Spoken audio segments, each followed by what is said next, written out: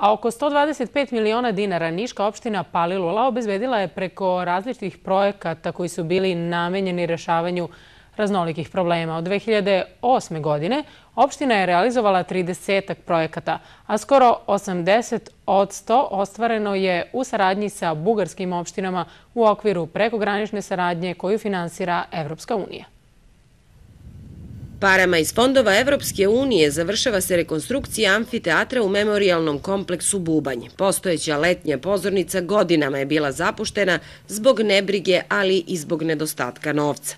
Ove i mnogo drugih projekata u opštini Palilula napisao je Miloš Stojadinović. On kaže da realizacija prekograničnih projekata ima poseban značaj.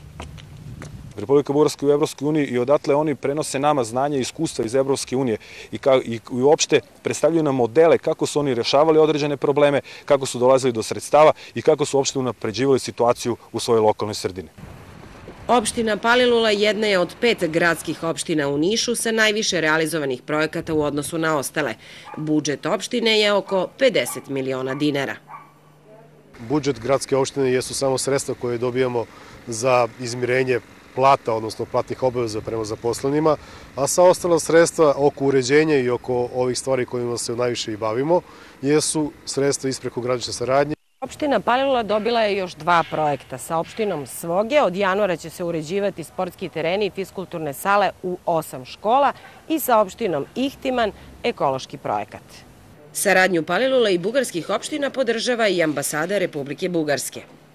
Članstvo v Evropejski sojuz... Članstvo u Evropskoj uniji nije neophodno samo zbog dobrosusedskih odnosa, već i šansa za razvoj.